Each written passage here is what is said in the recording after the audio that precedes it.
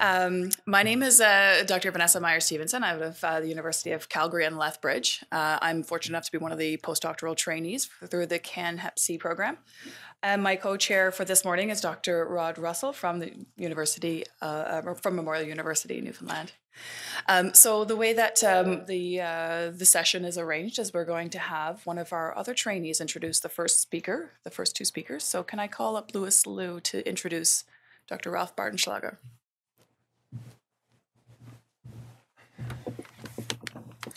Morning, everyone. I have the pleasure of introducing our first speaker, Dr. Ralph Bartenschlager, who is from the University of Heidelberg in Germany. His lab focuses on understanding how hepatitis C and B viruses establish persistence in host cells, as well as understanding how host cell factors are exploited by these factors by these viruses to facilitate efficient replication. Together, these studies act as the basis for the development of novel antiviral strategies with a focus on host cell dependency factors that can be used for the development of broad spectrum antiviral drugs. So if you join me in welcoming uh, Dr. Ralph Bartenschlager.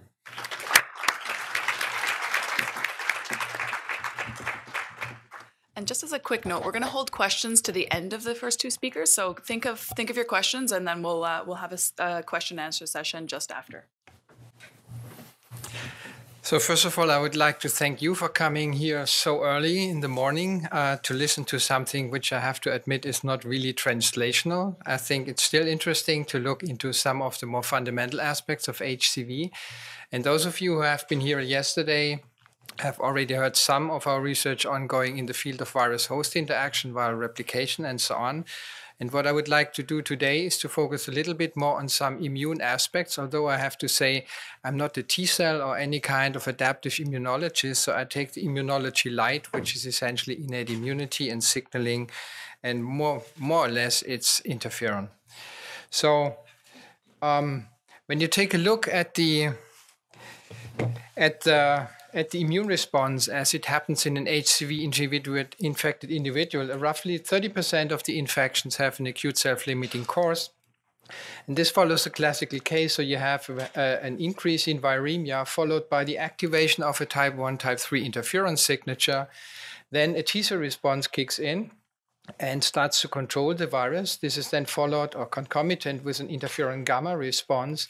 And then those patients who are able to eliminate the virus, they have a T cell response that ultimately clears the infection. However, in the majority of cases, uh, the T cell response for unknown reasons starts to contract, and this is normally a prelude to persistence. The T cell responses go away, uh, the T cells develop an exhausted phenotypes, and the virus keeps then uh, an intermediate or high or low level viremia. And interestingly, there's a constant activation of the interferon system. So that means that the virus can replicate in the face of an activated interferon response. So that, of course, raises a lot of, let's say, fundamental basic questions.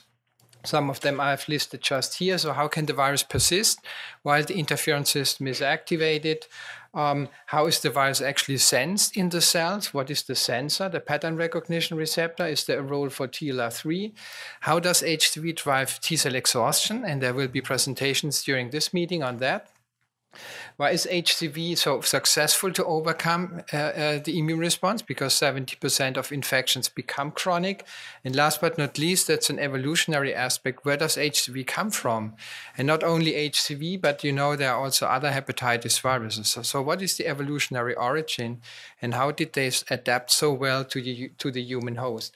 And I would like to mention that most of these questions have been studied within a research network, which is called Transregio 179, which has entered into a collaboration with CanHepC, which allows to exchange students from Heidelberg to, or from this Transregio to Canada and vice versa, uh, students from Canada visiting our labs here within the Transregio.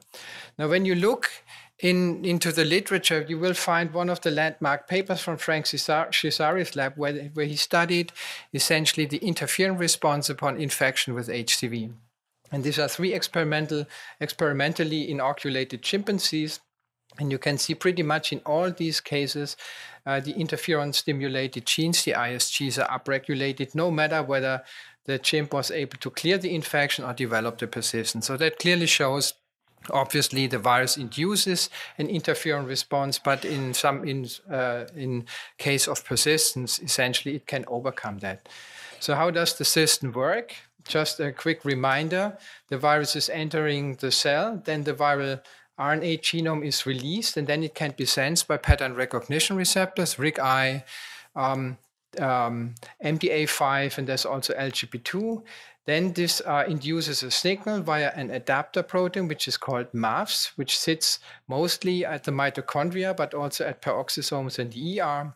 And this then activates a signaling cascades to produce the interferons, type 1 and type 3 interferons, so beta and lambda. They are released from the infected cell and then they bind to the same cell or neighboring cells to the interferon receptors, which then triggers a JAK-STAT signaling cascade and then is driving the expression of roughly four to 500 genes that in total confer the antiviral state. And when you treat cells with interferon and then try to infect with HCV, the cells are pretty much resistant. So it's a really very powerful system that can control the virus. And for that reason, the viruses have developed antiviral strategies. And one of them, which is well studied in the case of HCV, is a protease. So the virus has a protease called NS34A, and this protease cleaves off the MAVS protein and thereby is blocking the signaling cascade. And that's why the cells have, let's say, kind of a dampened interferon response. So the questions we were interested in was where, what is the relevance of this MAVS cleavage for HCV replication? Does it actually control the MAVS no matter where it's uh, located subcellularly?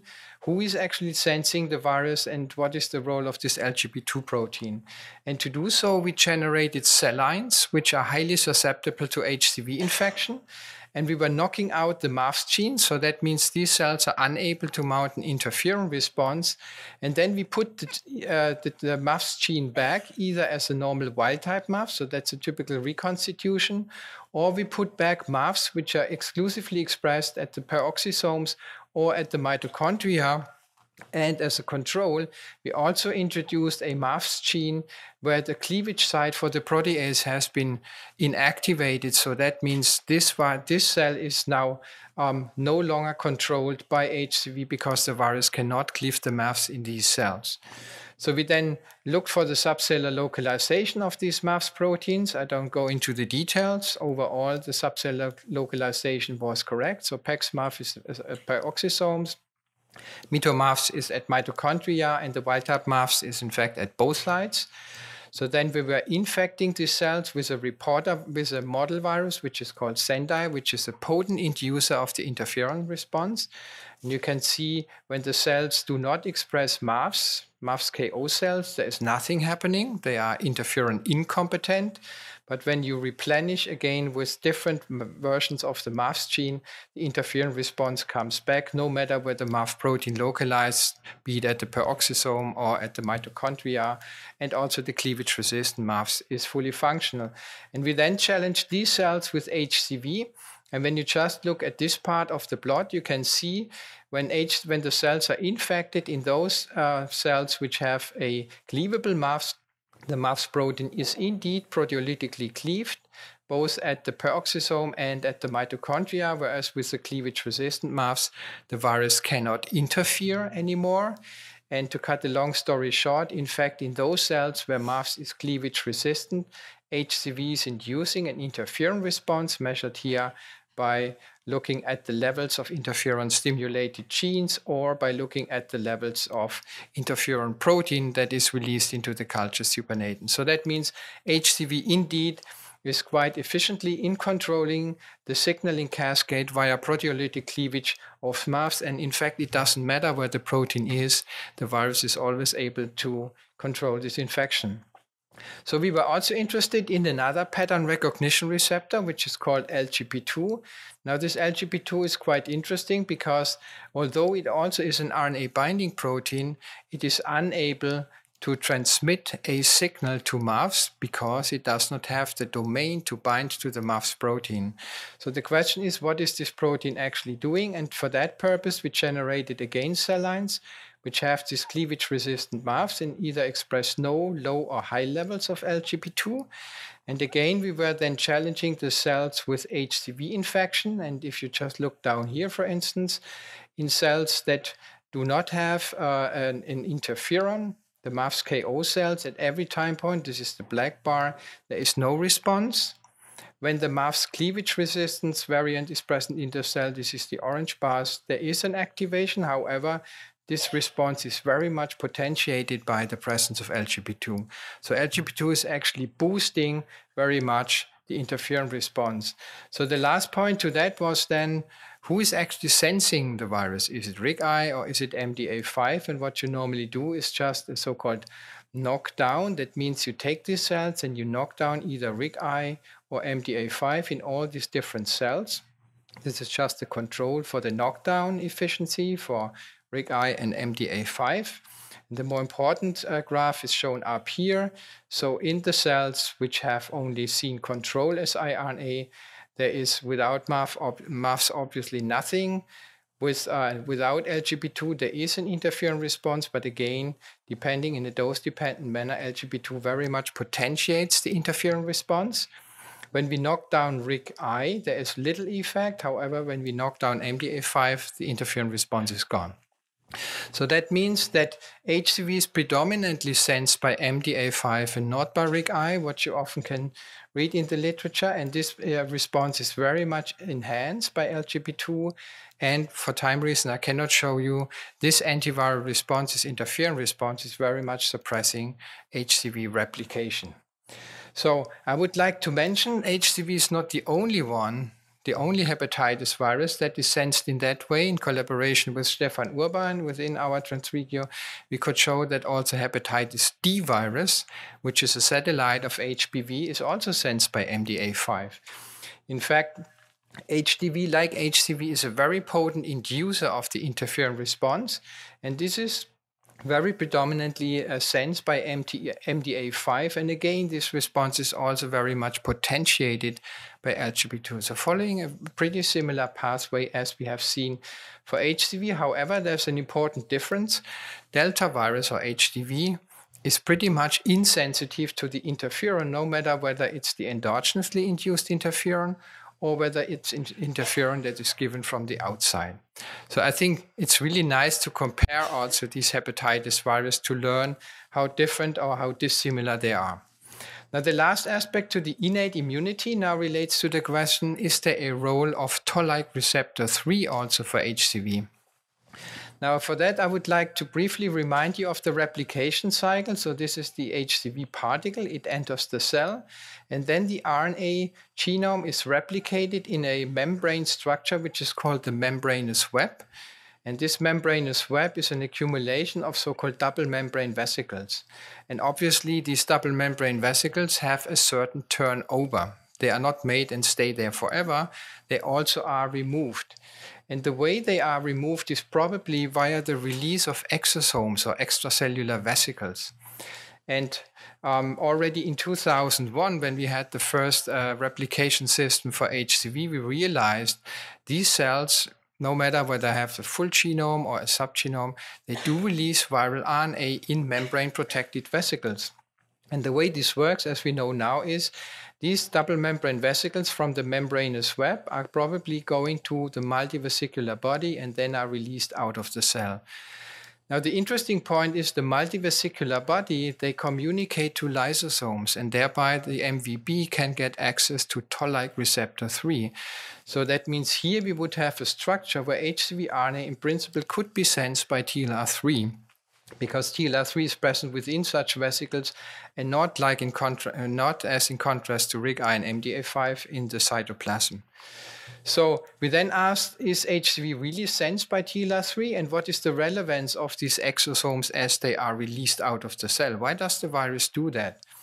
And to do that, we again generated cell lines which either express RIG-I or MDA5 or TLR3. And then we were testing these cells by either transfecting in a double-stranded RNA mimic, which is called poly-IC, which is a very common activator of the response. And you can see when you transfect it in, cells that have RIG-I or MDA5 or TLR3, shown these gray bars, gray bars, they respond quite well.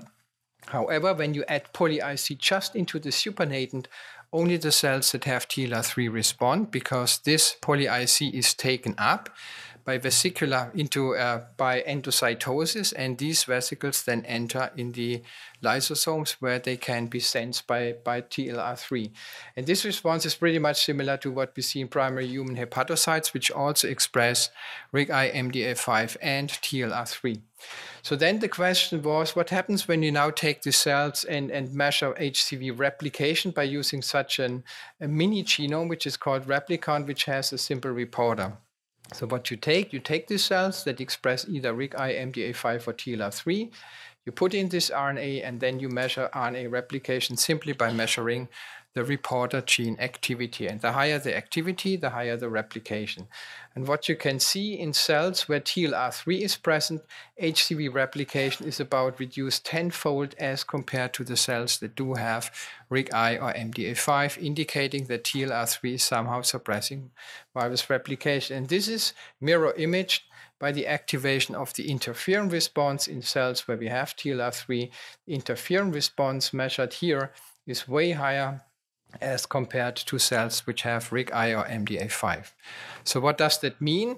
It means that RIG-I and MDA5 responses are well controlled by HCV, and this is what you would expect because these molecules signal via MAFs, and as I, told you, MAFs is efficiently cleaved by the virus viral protease, whereas TLR3 uh, is poorly controlled by HCV because this is not signaling via MAFs, but via another molecule which is called TRIF.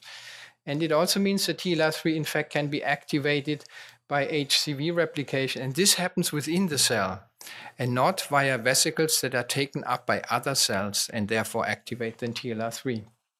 So then the question was, what happens when we now block the secretion of these vesicles? And this you can do by doing a knockdown or by adding a drug which blocks the exosome, uh, product, uh, exosome production and the exosome release. And we did that, and we used again the cell lines. So this is uh, um, these are the control cells which do not or do express TLR3. Again, in the presence of TLR3, replication is slower. When we now block the exosome release in cells without TLR3, nothing happens. However, when we block the exosome release in, in cells with TLR3, we do see that HCV replication is even more suppressed as compared to cells that do release the exosomes. And again, when we measure then the interferon response, we see that in those cells where we block the exosome release, the interferon response is roughly tenfold higher induced as compared to normal cells. So what can we conclude from that? That means that obviously HCV is releasing its double-strand RNA intermediates via exosomal release and thereby is bypassing the activation of toll-like receptor 3. And this really happens within the infected cells and not by uptake of PDCs or other immune cells to activate this response. So this is, I would say, a really interesting and a novel concept how a virus is overcoming the recognition by toll-like receptor 3.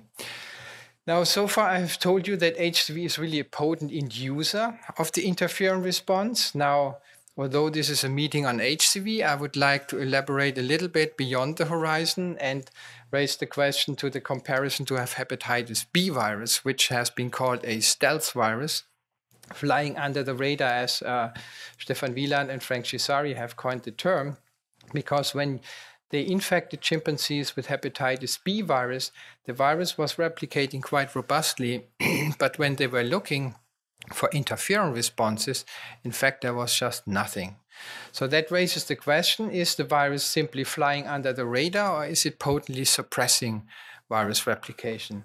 And I don't want to go into the detail, but the bottom line is HBV is really a stealth virus flying under the radar.